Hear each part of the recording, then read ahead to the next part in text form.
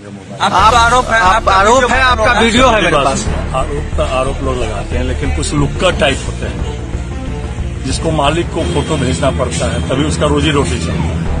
तो इसीलिए जो है वो मालिक को वीडियो भेज रहा था भैया कार्यक्रम है कार्यक्रम हो रहा है मालिक का हमको- मा, आपका मालिक का मतलब क्या है? मालिक किसको कहना चाहते हैं? ऐसा क्या करते हैं भाई? हमको मना करते हैं। फिर मोबाइल का ऐसे मत करिए। क्या कैसे? नमस्कार, मैं शंभू कुमार सिंह और आप देख रहे हैं निसल दस्तक। आज जो सबसे बड़ी खबर टेलीविज़न पर चलाई जा रही कंगना रनौत स्क्रीन से हट गई है। अच्छा लिखा अजय कबीर ने, बताऊँगा कि कैसे गजोधर और शक्तिमान दोनों आपस में लड़ते हैं और जब गजोधर का शक्तिमान घर तोड़ देता है तो वो कहता है कि मुसलमानों ने तोड़ा, जय श्री राम, हम भारत को हिंदू राष्ट्र बनाएँगे। तो ये उनकी साजिश है। रघुवंश प्रसाद सिंह को लेकर तमाम मीडिया सवन मीडिया लिख रही है कि उससे आरजेडी को नुकसान है। सच्चाई है कि वो सवर्ण नेता हैं उनसे कोई नुकसान नहीं होगा। लालू यादव के साथ जब तक सत्ता रही वो सत्ता के साथ चिपके रहे अब उनका कोई लेना देना नहीं है। एक भी सवर्ण वोट जो है वो किसी भी बहुजन दलों को नहीं मिलता। ये गांठ पार लीजिए अगर नहीं भरोसा है तो आपकी मर्ज़ी है। आ, दूसरी बड़ी खबर है 24 घंटे में पंचानवे हज़ार सात सौ पैंतीस केस कोरोना के मिले हैं ग्यारह सौ बहत्तर मौतें हुई हैं और आपको आपके हवाले छोड़ दिया गया है। आपका कुछ नहीं हो सकता है। और 26 कंपनियों का निजीकरण होने जा रहा है। टोटल 26 कंपनियाँ बेची जा रही हैं। इस देश का बहुजन लाचार बेबस होने के लिए तैयार रहे।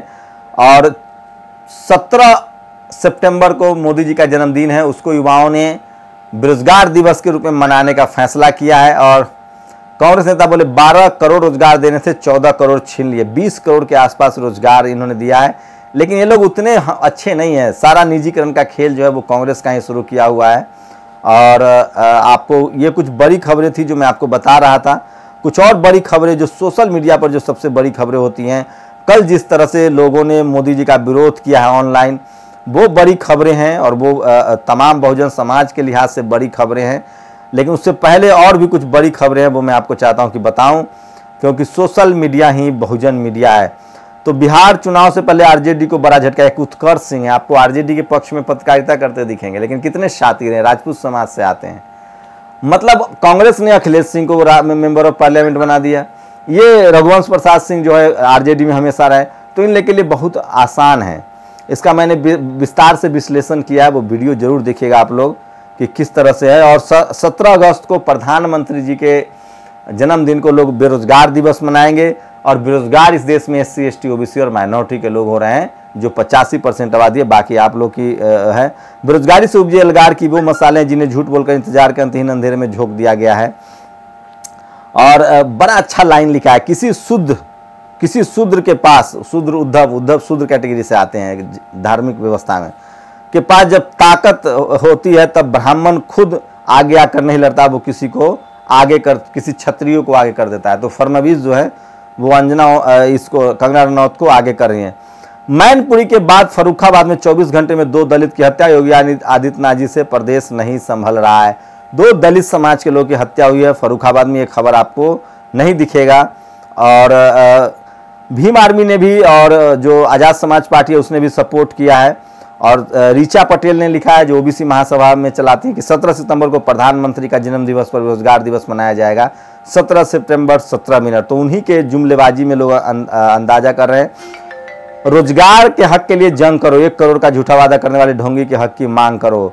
आशीष यादव ने लिखा है, बंगला गिरा दिया तो छाती पिटने लगी, लेकिन जीडीपी गिरी तो गोदी मीडिया को लकवा मार गया था। ये भी लोग लिख रहे हैं, चाहे कंगना, चाहे सुशांत बाबर या कोई भी ट्रेंड हो, इस पर इतने ट्वीट नहीं होते जितने 9 बजे 9 मिनट को लेकर छात्रों ने किया है। लेकिन इस देश की मीडिया आपको नहीं दिखाएगी। यूपी में मशहूर गल्ला व्यापारी कैलाश नयन दीक्षित की मॉर्निंग वॉक के दौरान औरैया में हत्या कर दी गई है। तो हत्या वहाँ आम बात है। बेरोजगारी सिर्फ़ नौकरी की मुद्दा नहीं है, ये बेसिक मानवाधिकार का मुद्दा है। ये सीमा समृद्धि हैं, सुप्रीम कोर्ट की बड़ी वकील हैं, जो दिल्ली रेप कांड में इन्होंने बहुत लंबी लड़ाई लड़ी है, ये वीडियो भी आप देखिए उनका।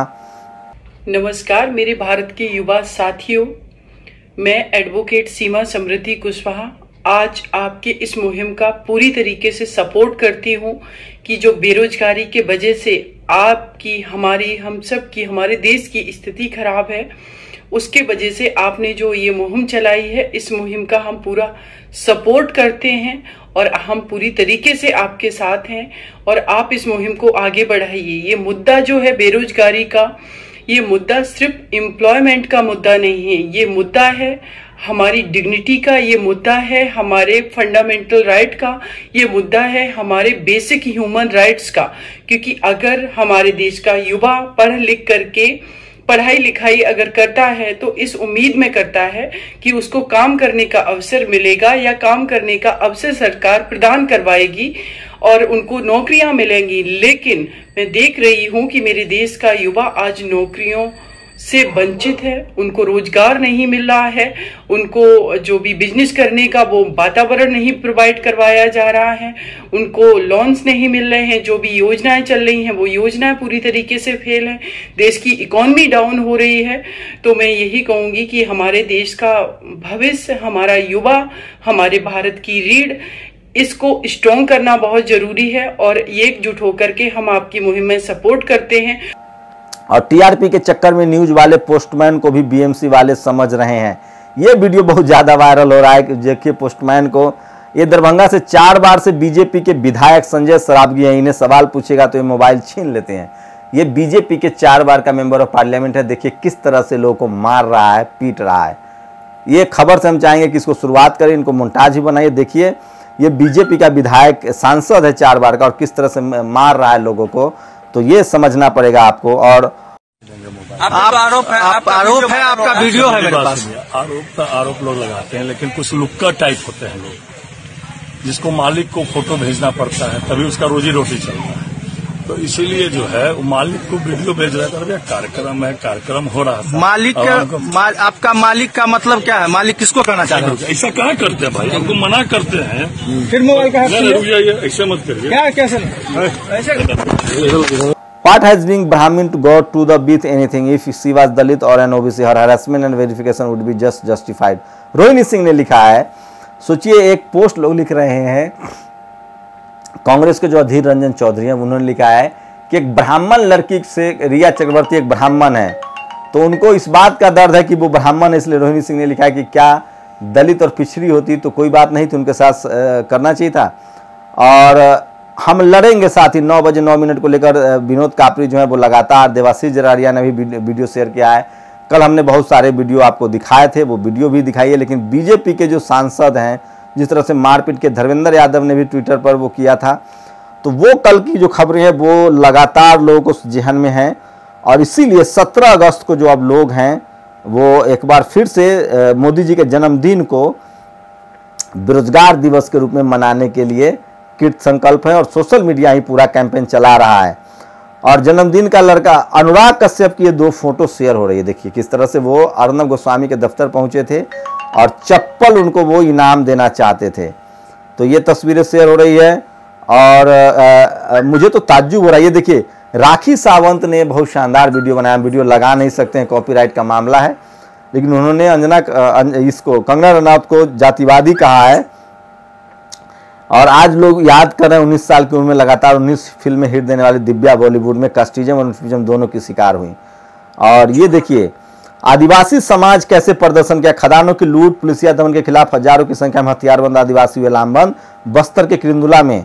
लेकिन ये खबरें आपको नहीं दिखाई जाएगी क्योंकि मीडिया पर उनका कब्जा है। और अजय कबीर का पोस्ट समझिए आपको उद्धव और कंगना का खबर पता चल जाएगा। पंडित रमादीन रामदीन और गजोधर सिंह में झगड़ा हुआ। पंडित रमादीन ने अपने आदमियों के साथ मिलकर गजोधर सिंह का घर तोड़फोड़ डाला।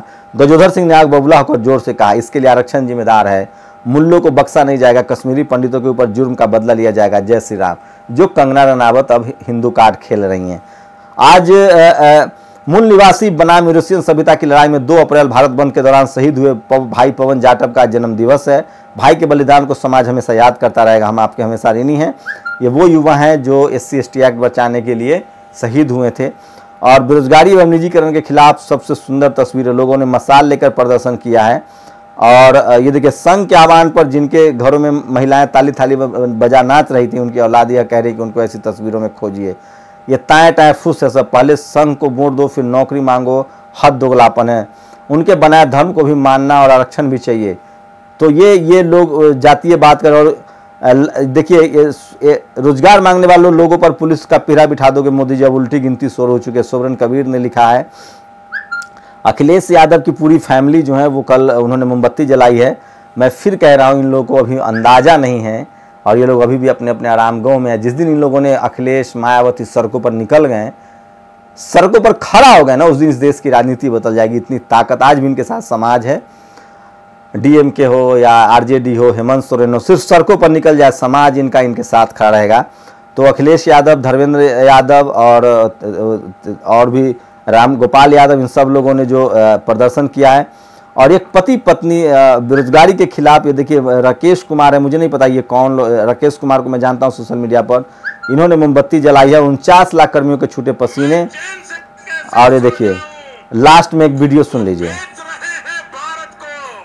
ये देखिए, जो निजी 26 कंपनियाँ निजीकरण कर रहे हैं, मोदी जी का बयान सुन लीजिए।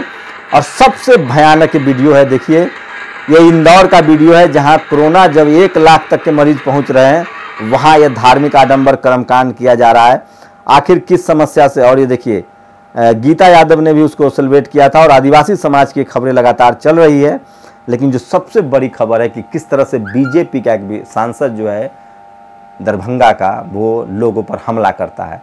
आप सोच लीजिए, अगर ये लोग बिहार में आ गए तो क्या करेंगे? आप लोग की क्या प्रतिक्रिया? अपनी प्रतिक्रिया जोड़ दीजिए। शुक्रिया।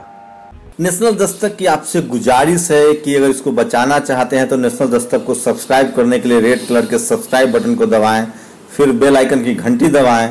नेशनल दस्तक को बचाने के लिए बहुत ज़रूरी है कि हर खबर को शेयर करें, लाइक करें, कमेंट ज़रूर करें।